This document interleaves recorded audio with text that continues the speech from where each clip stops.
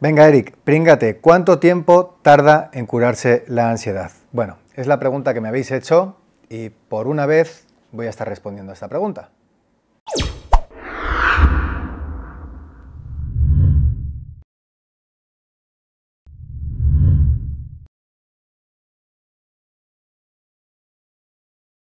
Bienvenidos amigos y amigas a otro vídeo más de Vive sin ansiedad. Te está hablando Eric, fundador de Vive sin ansiedad y del método Vive sin ansiedad.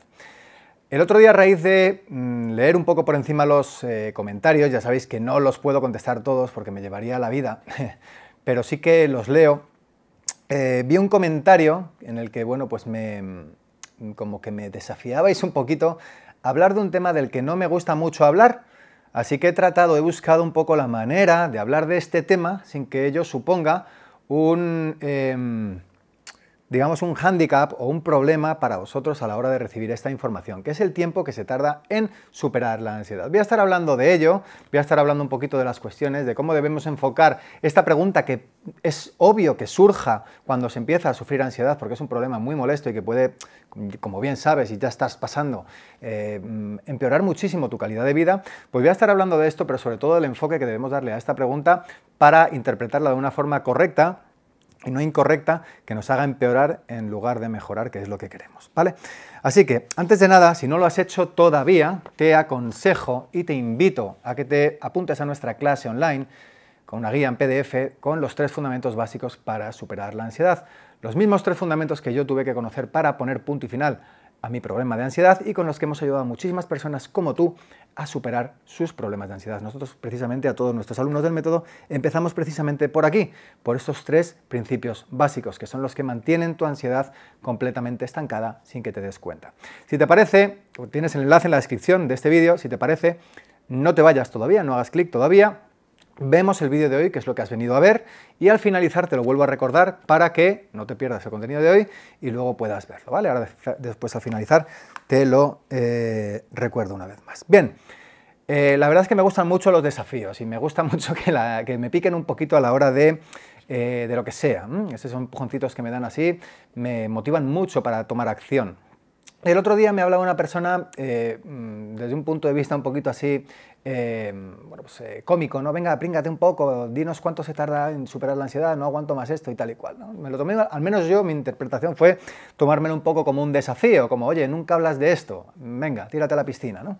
Bien, pues es lo que vamos a hacer precisamente hoy. ¿Por qué? Pues porque muchas personas entiendo que estéis precisamente pasando por esta, mm, esta duda que tan redundante puede ser en la cabeza cuando estamos teniendo ansiedad, sobre todo una ansiedad que nos está impidiendo hacer una vida completamente normal. Vale. Bien, ¿cuánto se puede tardar en superar la ansiedad? Y sé que la respuesta que te voy a dar ahora mismo no te va a gustar, porque no te va a llevar tampoco a ningún lado. La respuesta es que depende. Depende de muchas cosas. Depende de tu grado de ansiedad. Depende de la implicación que tú tengas en el tratamiento, la terapia o el método, en el caso de nuestros alumnos, eh, en el compromiso, el tiempo que tú puedas dedicarle a la superación de tu ansiedad. Depende de, los, eh, de tu círculo social, de lo que pueda estar influyendo en tu ansiedad. Depende de muchos factores, porque la causa de la, perdón, la ansiedad, digamos que es un problema multifactorial, factorial o multifactorial. Es decir, hay uno o varios factores que pueden estar haciendo que tú tengas esa ansiedad. Y a la hora de superarla, también son eh, procesos mm, son factores o multifactores los que ayudan a superarla.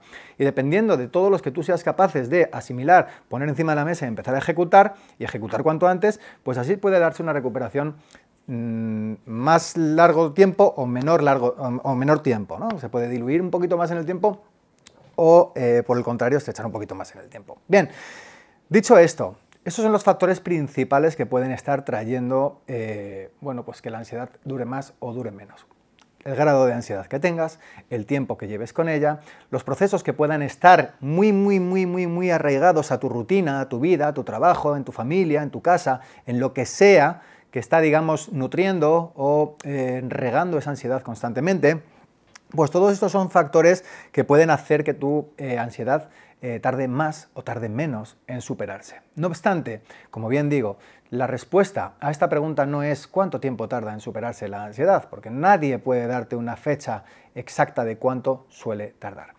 Lo que sí hacemos nosotros en Vive sin ansiedad es traquear un poquito cuánto tardan nuestros usuarios en superar la ansiedad, cuánto tardan nuestros miembros de media en superar la ansiedad.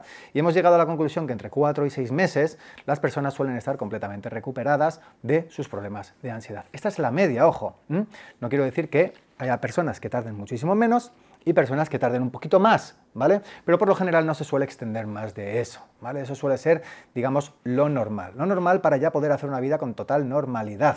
Esto no es que un día estoy sufriendo ansiedad, estoy sufriendo ansiedad, estoy sufriendo ansiedad y un día me levanto sin ansiedad. El proceso de recuperación es muy gradual y poco a poco vamos a ir, eh, bueno, vamos a ir no, porque prácticamente no te vas a ir dando cuenta de que estás mejorando. Si día a día vas traqueando eh, o vas midiendo los resultados, no te vas a dar cuenta es solamente, si echas la vista atrás, pues eh, hace 10 días que era capaz de hacer, hace 15 días que era capaz de hacer, hace un mes que era capaz de hacer. Ya he puesto el ejemplo muchas veces de es como ver crecer a un niño. Si tú lo ves todos los días, no aprecias su crecimiento. Si tú ves a ese niño cada seis meses, sí vas a apreciar su crecimiento. Porque le ves en el mes de enero y a lo mejor te llega por la cadera. Le ves en el mes de agosto y a lo mejor ya te llega por el pecho. Entonces es un ejemplo de que la ansiedad, eh, de cómo tenemos que afrontar nosotros el eh, proceso de cura, de recuperación de la ansiedad, ¿vale? De, de, un punto de vista en el que no nos estrese, en el que no nos cree impaciencia, en el que no nos cree desesperación, porque si vamos con ese concepto mental, como bien digo, lo que vamos a hacer es empeorar en lugar de mejorar, ¿vale? Es una de las cosas que nosotros, en el primer fundamento, en el primer fundamento, que no te lo voy a desvelar, te lo desvelaré luego en la clase online si es que te apuntas, es lo que más trabajamos con nuestros alumnos. En ese primer fundamento marcamos unas bases y en esas bases están precisamente lo que te estoy contando. ¿Qué mentalidad es la que debemos llevar con nosotros mismos para que el enfoque, para que todo lo que hagamos después funcione? ¿Vale? Entonces, esto es importante. No obstante, no obstante, somos personas y como personas que somos, muchas veces nos eh, sorprendemos. Yo incluso, que llevo desde el año 2009, después de pasar dos años sufriendo ansiedad, durante esos dos años leer un montón de libros, artículos, incluso seminarios para la recuperación de mi ansiedad, y desde el año 2009 ayudando a personas a superar su ansiedad, que tengo el correo electrónico eh, petado de mensajes y de gente todos los días del año durante todos estos años, fijaos si he podido atender a personas y, hablar con personas con ansiedad, pues aún así me siguen sorprendiendo muchísimo muchos casos.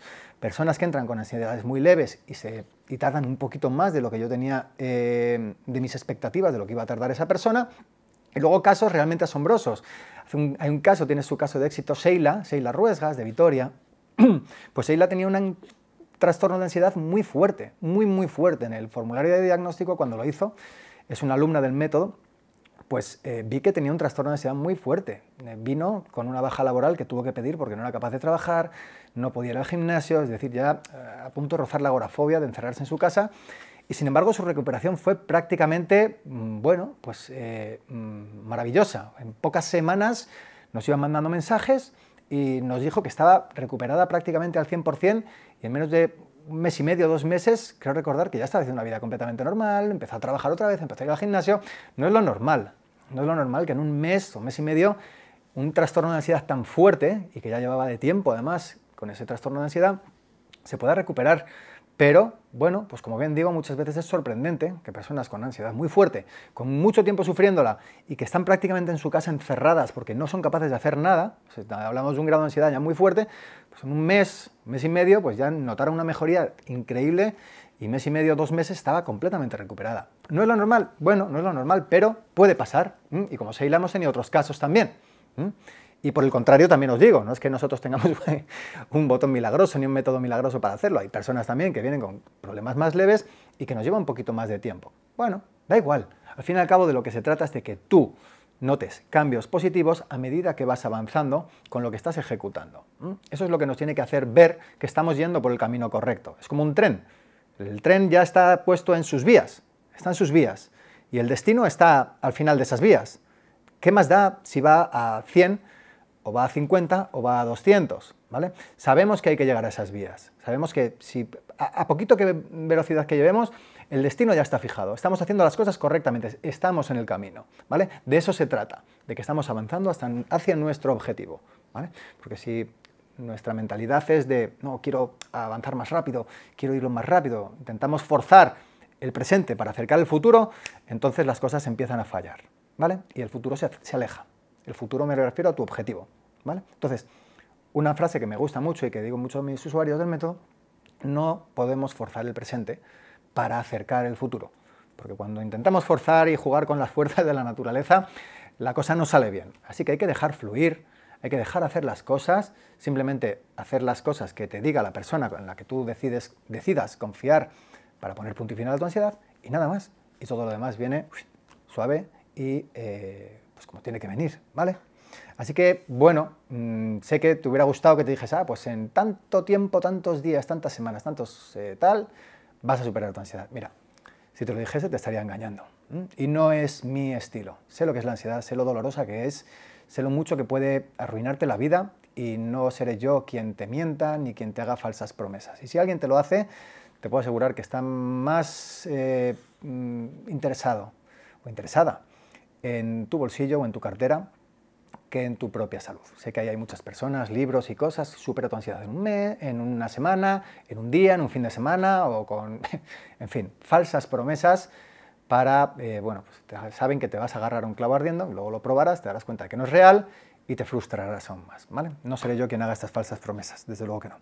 Así que nada más, te mando un fortísimo abrazo. Si no lo has hecho todavía, suscríbete al canal de YouTube, tienes un botoncito, creo que por aquí, debajo, ¿eh?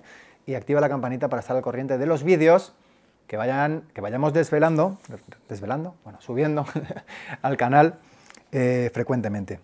Y ahora ya sí, deja también un comentario, me encantará leerte, ¿vale? Porque te das cuenta que de los comentarios que dejáis, luego saco contenido, precisamente basado en lo que me demandáis, ¿vale? Y ahora ya sí te recomendaría y te invito a que entres en nuestra página web www.vivesinansiedad.com, tienes el enlace justo en la descripción de este vídeo, y accedas a nuestra clase online con los tres fundamentos que sí que considero que necesitas conocer fundamentalmente. Tres fundamentos fundamentales, y valga la redundancia, para que empieces a romper el estancamiento que está, digamos, manteniendo tu ansiedad en esa línea en la que no va ni para arriba ni para abajo. ¿Vale? Entra, te registras a la clase online, al final de la clase online tienes también este reporte en PDF para poder leerlos tantas veces como quieras. Y echa un vistazo también a nuestros testimonios, a todas esas personas de las que te hablo, a las que hemos ayudado a superar la ansiedad, para que te motives un poco. Y si también quieres que Mm, contar con nuestra ayuda para que te ayudemos a superar tu ansiedad, pues estaremos encantados de hacerlo. Nada más, hasta aquí, te mando un fuerte abrazo, vas a superar tu ansiedad, no te quepa duda de ello, y aquí estamos mi equipo y yo para ayudarte en lo que haga falta. Haz clic en el enlace de la descripción y te espero en unos minutitos en la clase online. Fuerte abrazo.